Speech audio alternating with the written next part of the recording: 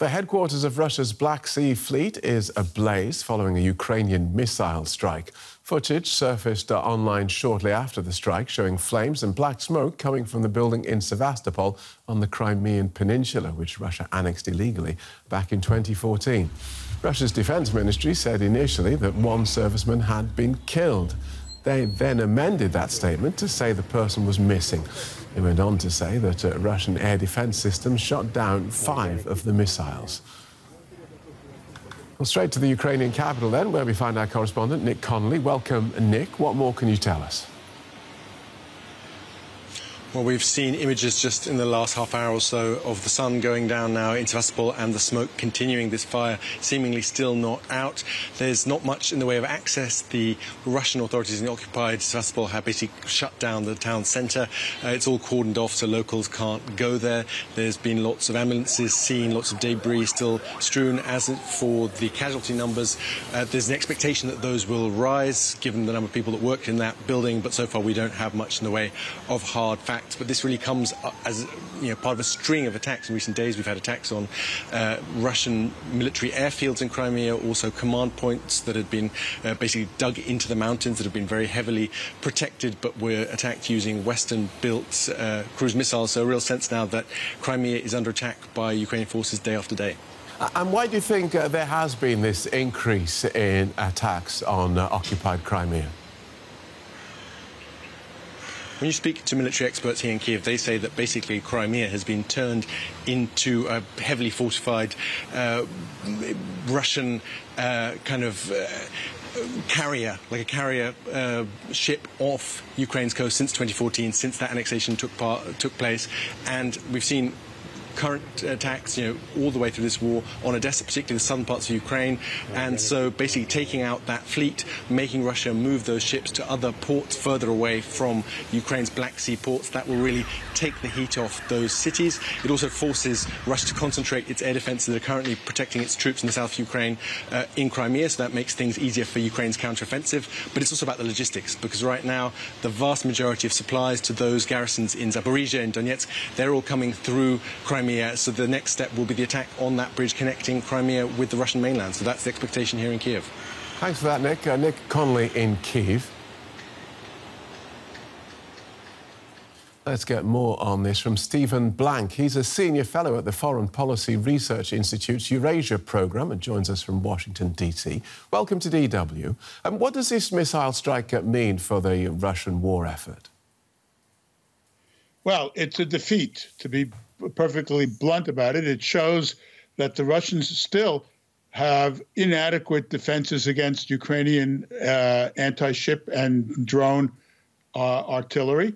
And what's more, that they uh, don't seem to be uh, able to cope with the threat that Ukraine poses to them.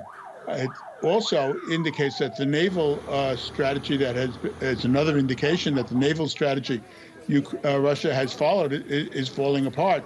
Uh, apart from all the other threats that the uh, your correspondent had mentioned, the naval uh, aspect of the war was that the Black Sea Fleet was supposed to blockade Ukraine. That blockade is falling apart. Uh, Ukraine is now being able to send ships through a corridor in the Black Sea with commercial wares for export. It is uh, destroying Russia's logistics and its uh, intelligence capabilities in Crimea.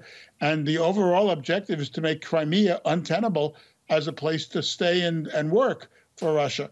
So, right. and to conduct uh, military operations. So, and, and why is uh, Russia's naval effort falling apart, as you describe it? You know, that's a very hard question to answer. Uh, obviously, they don't take the Ukrainian capabilities seriously enough. Still, uh, they don't have proper air defense. That's uh, quite obvious. And uh, they're leaving these buildings, to all extents and purposes, unprotected. Uh, there are other examples where they have failed to uh, move adequately with regard to naval operations as well. they planned amphibious operations at the beginning of the war, and those never came off. The Navy just doesn't have an answer to Ukrainian anti-ship and uh, artillery and drones. Okay, and so 18 given, months. So, given, uh, given that, is this attack uh, on Crimea, this latest attack on Crimea, what difference will it make to what, uh, what Moscow is doing navally? Moscow is already moving, trying to move the fleet out of range of Ukrainian artillery, artillery. I mean, uh, missiles and drones. So that makes it uh, harder, as your as Nick, as your correspondent pointed out, to uh, attack Ukraine with missiles uh, because those ships are now further away. It also makes it much more difficult to enforce this blockade of Ukraine's grain trade, which they tried again uh, in July when they broke the grain agreement with uh, Turkey, UN, and Ukraine to uh, enforce that. It also makes it harder for them to sustain the logistics capabilities for their forces in South Ukraine. So the fact of the matter is that there doesn't seem to be a viable naval strategy right now coming out of Moscow. Right. And we haven't heard uh, much from Moscow in response to this attack. Just a, a quick summary of uh, casualties. Um, does that tell us anything? Yes, it means they were taken by surprise and they don't have an answer for it. Uh, and that uh, probably Putin is looking for somebody's head to roll as a result of this, because this is a terrible failure. This is the main headquarters building of the Black Sea Fleet, and it appears to have been undefended. Thank you for that, uh, Stephen Blank from the Foreign Policy Research Institute. You're welcome. Uh, we'll hear now from uh, our Russia analyst, Konstantin Eggert. Welcome, Konstantin. Uh, what sort of reaction has there been from Moscow? Well, not much, frankly speaking. Mostly what we've seen are reactions from the uh, local sort of occupation authorities appointed by uh, by the Russian government. Um, they were actually, some of them were saying just enemies that struck the Black Sea Fleet uh, the Black Sea Fleet headquarters. Uh, another person saying, oh, it's the Ukrainian missile. So even, even, even, there, it's a bit of a confusion. But uh, what we do know is that uh, basically the building is damaged very significantly. And reports from the scene uh, in uh, local telegram channels are saying that a dozen or probably more ambulances were seen around the building, ostensibly evacuating uh, the wounded. But there is no, not yet a major Kremlin reaction to that. Although I agree with Nick Connolly, who spoke earlier uh, on the program, it is uh, probably not so much a military hit, but a significant PR disaster uh, for the Kremlin. I think I, I, would agree with that assessment. Right, and uh, perhaps you could expand on that for us. Why is uh, the, the Black Sea Fleet there and Sevastopol? why is that so symbolic for Russia? Well, uh, look, the annexation of Crimea uh, was remains actually the linchpin of Vladimir Putin's rule for the last, well, whatever, nine years. And uh, the idea that the Crimea is very safe, it's Russian forever. It's something that the Russian propaganda is pumping 24 7 uh, to the Russian public. But this uh, headquarters, although I think that the real sort of coordinating center uh, the, the real military headquarters of the fleet. Must be somewhere else, probably somewhere where it's safer. But this kind of bureaucratic headquarters, uh, visible to everyone, known to everyone in the Crimea and in Sevastopol, uh, now has been reduced to rubble. Uh, this does not show frankly speaking, uh, in terms of PR, that this is Russian forever. Moreover, it shows that Ukrainians are pretty free to strike there, and I think that uh, symbolically, that's a very must be a very unpleasant thing for the Kremlin. Right. So, from from what you you, you and Nick have said, it doesn't look as though this missile strike uh, on that base is necessarily going to affect uh, Russian military strategy.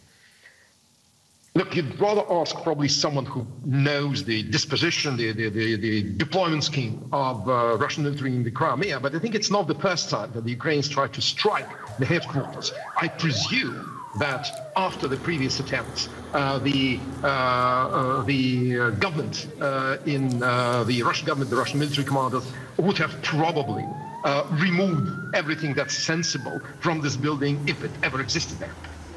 Thank you for that, Konstantin. That's uh, DW's uh, Russia analyst Konstantin Eggert. And we can now speak to military analyst Marina Miron from King's College in London. Welcome, good to see you again. Now, why are we seeing Ukraine step up these attacks on Crimea in recent weeks? Good evening, Nicole. Well, there are several reasons for that. First of all, Ukraine doesn't have the same naval capabilities as Russia does. So, what Ukraine is trying to do is degrade Russia's Black Sea Fleet capabilities. And specifically, there are two main aims, military aims for that matter. The um, the Black Sea Fleet was used to fire Kalibr missiles on Odessa. So it would be obviously important for Ukraine to, to reduce uh, the risk of an attack on the Odessa port. That is connected with the other reasoning for that. And the Odessa port is being used to export Ukrainian grain, and Ukraine has seen some difficulties, especially with a with a Poland and some other countries imposing a ban on Ukrainian grain. It's important for Ukraine to sustain its economy, therefore neutralizing or at least reducing the capabilities of the Black Sea fleet. It wants to ensure that its vessels can get to their destination. And of course, it has some psychological effect as well, showing that, especially as Zelensky is asking for long range missiles from the United States, showing the capabilities of the Ukrainian armed forces to precisely strike the Russians in Crimea, despite the air defenses and despite the difficulties that Ukrainian Air Force is having.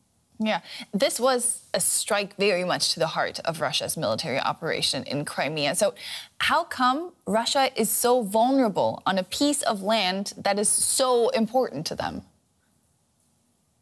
It is an interesting question indeed, because Russia has claimed to have advanced air defenses, most notably the S 400 deployed to Crimea, deployed to Sevastopol um, in order to protect the peninsula. The reasoning could be is the fact that the Ukrainian Air Force used the Storm Shadow or Scalp missile, which is a cruise missile, which has a different trajectory and by itself is much more difficult to intercept. On the one hand, on the other hand, we have to look at the terrain of uh, Sevastopol, and th- there are mountains. So when the operator of the air defense system sees a missile on the radar, when it comes from um, out of the mountain, so to say, it might be too late and uh, they just don't have enough time to react. And the other option is, of course, that the, the uh, air defense systems were overloaded. So it wasn't just one missile fired. And uh, that is apparently what happened. So taking all those factors combined, it becomes more and more difficult for Russia to defend Crimea and to defend its um, Black Sea Fleet headquarters, putting it on the defensive, of course. Yeah. We've spoken a lot about Ukraine's slow counteroffensive. Now, could these missile strikes on Russian held territory be another way to weaken the enemy? And if so, could it be successful? we have to look at the counteroffensive as a multifaceted operation. So, what is happening in Zaporizhia right now is not the only point of contact. We have to look at all the other sectors of the front, um, such as Klishchiivka and Andriivka, where the Ukrainian forces had some success, and they are trying to encircle the Russian forces or partially encircle the Russian forces in Bakhmut. Simultaneously, we have the drone attacks uh, around Belgorod. We have drone attacks aimed at um, critical infrastructure aimed at um, ammunition depots um, in order to reduce Russia's capabilities in to uh, continue with its special military operation, so-called special military operation. And we also have those attacks on Crimea, which all in conjunction should create uh, synergies and should create effect, especially on Russia's capability to resist. It should make a dent also in in availability of Russia's ammunition supplies. Yeah. So I, I think um, integrated into this whole operation, these attacks are important, but um, the overall effect will be decisive. And right now, it's just one portion which is successful. It's Military analyst Marina Miron from King's College London. Thank you. Thank you very much.